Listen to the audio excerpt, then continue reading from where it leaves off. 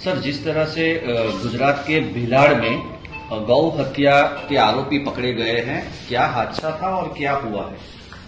कल रात को 12 बजे वलसाड़ जिला के भिलाड़ पुलिस स्टेशन में गुलशन नगर करके इलाका है, वहाँ से इंफॉर्मेशन पुलिस को मिली। यहाँ एक ओपन ग्राउंड के शेड में कुछ एक लोग गायों को, गायों की हत्या कर रहे हैं। डीवाईएसपी दवे और उनके अंडर में पीएसआई राठौर और पीएसआई सुसलादे की टीम ने वहाँ जाके एक सर्च ऑपरेशन किया, उसमें सात लोगों को गिरफ्त में लिया गया है।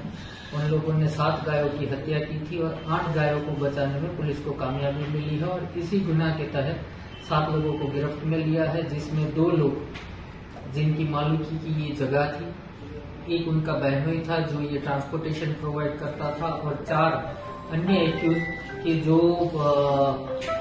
जो लोग मुंबई कुर्ला विस्तार से आए थे और जो कसाई का काम करते थे उनको गिरफ्त में लिया गया। है है। ये। गौवंश हत्या के लिए जो नया अमेंडमेंट और नया एक्ट लाया गया उसके हिसाब से ये एक सीरियस गुना है।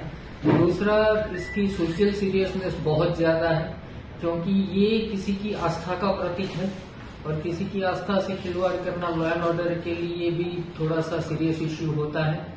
बट लकीली यहाँ सारे ऑर्गेनाइजेशन का बहुत अच्छा सपोर्ट पुलिस को मिल रहा है। सो लॉ एंड ऑर्डर की कोई दिक्कत यहाँ पे नहीं है।